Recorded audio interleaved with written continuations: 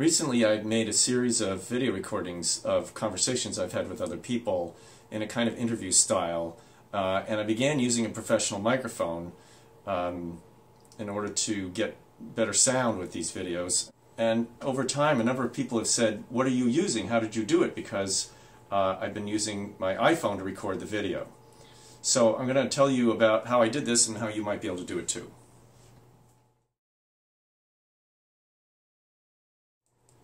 So what I found was that in some environments, there's a lot of ambient sound, which means sound that's around you while you're interviewing, because I'm in a place where I can't necessarily prevent there being extra sounds in the background, people talking, traffic, whatever. So I decided to use this microphone that I had for a long time, uh, which is called the Electro Voice 635A. Now, I mention that in particular because this microphone has been around for over 40 years. It was a, um, brought out on the market in 1965 and they still sell it, so you can buy one. And um, if you come in and look here, you can see uh, that it's an omnidirectional dynamic microphone. So omnidirectional means that this microphone can pick up sound from any angle around it, and that's good because when you're doing an interview with somebody, you don't want it to be too critical about how you aim it and how close you are to them. A reasonable distance, six to eight inches, is going to work probably just fine. And the word dynamic means that this microphone actually generates the signal that comes out the end from the power of the sound that reaches it. So there are no batteries. Uh, and this particular model is very rugged and it's very famous in the news industry. So I happen to have that one.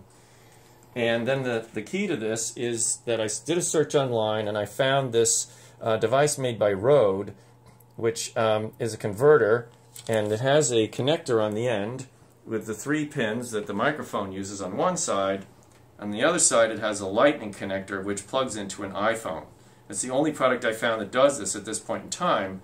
Uh, there may be others that come on the market, um, but I want to say two things about it. First of all, it only works with Apple iPhone products because they're the ones that have the lightning connector. I can't tell you about Android phones because I don't know the answer to that. There's probably other people out there who uh, found products to do this, or maybe products will be coming out soon.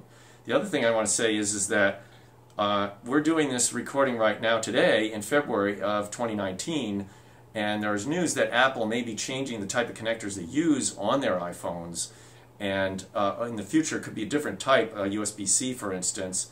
So uh, there probably will have to be uh, an adapter which you'd use with this product, or maybe the Rode people will come out with another product that uses whatever connector the iPhone has next.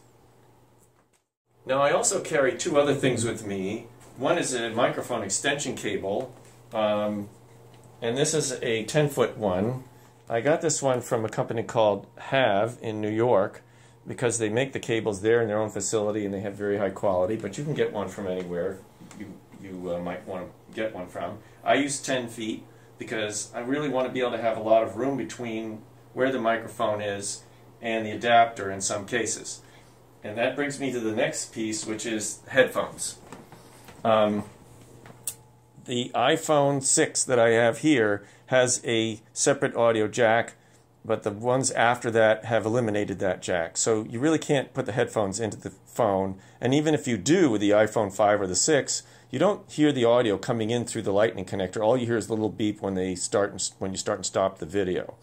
So the best thing to do is monitor it here from the headphone jack that's built in to the uh, adapter.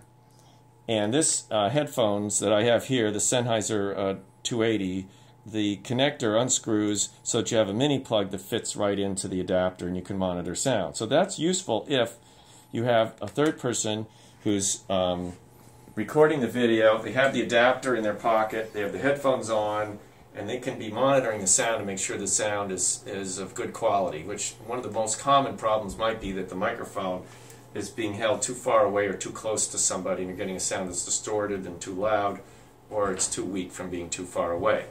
Or there's some excessively loud environmental sound which is getting into the recording.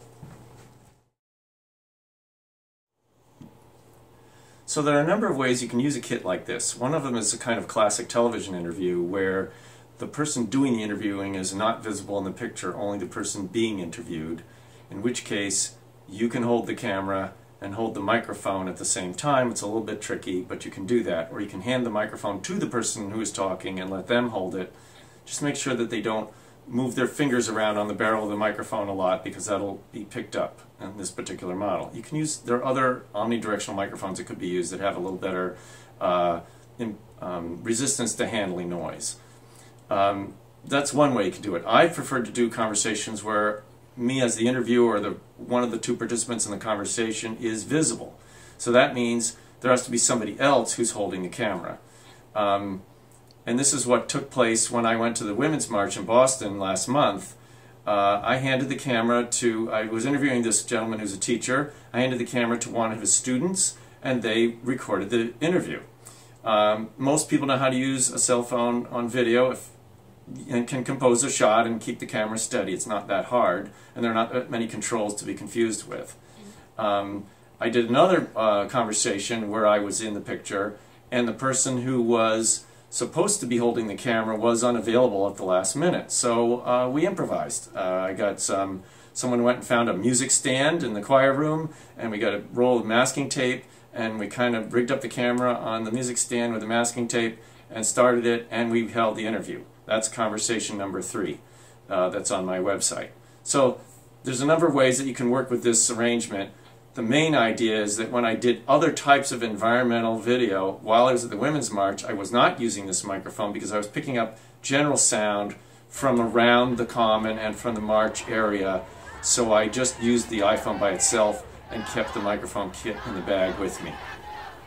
One of the issues that comes up when you've sort of recruited someone to hold the camera while you're doing this is uh, sort of camera operator fatigue. They're holding the phone uh, up like this and it gets tiring if you have a long interview or something like that. So if you're indoors, you have outdoor furniture, anything like that, one of the things you can do is take a, a chair uh, and turn it around backwards and sit in the chair like this and then you can use the back of the chair to support your arms so that uh, they have something to rest on. Now if the chair is a lower back, your, your elbows can fit onto it or your forearms can fit onto it if it's a higher back chair like this. Now while I'm here doing this, I want to point out a couple of quick things about shooting a video besides getting the correct framing. Uh, one of them is to always hold the camera in the horizontal position or landscape position. Never ever shoot a video in the portrait mode or vertical position. The reason is, there's a lot of reasons actually. Part of it has to do with human psychology and the visual cortex in your brain, but also it has to do with almost every other screen that you're ever going to watch this video on is horizontally oriented, including TV sets, computer screens, and so on. So match the picture that you're getting with the phone with the kind of screen that it's going to be presented on. Very, very seldom does anybody watch anything serious on this format vertically. Uh, also, of course, most of you have figured out that you it's very easy to get your fingers in front of the lens, so do make sure hold it like this, like making the letter C with your hand. And the same thing is true on the other side of the camera where the sound is being picked up by the built-in camera microphone if you're not using the interview kit, if you're outside or you're in a really quiet environment where you can record with the built-in camera microphone, make sure to keep your fingers away from blocking the grill work on this side of the camera. So now I'm using the system that we just talked about, and you can probably hear the difference between the quality of sound while I'm speaking directly into the microphone versus the rest of the room echo we got when we were just using the other camera. You can see here that there's a little green light, and that lets you know that everything is plugged in and working correctly, even if you can't monitor the sound with headphones.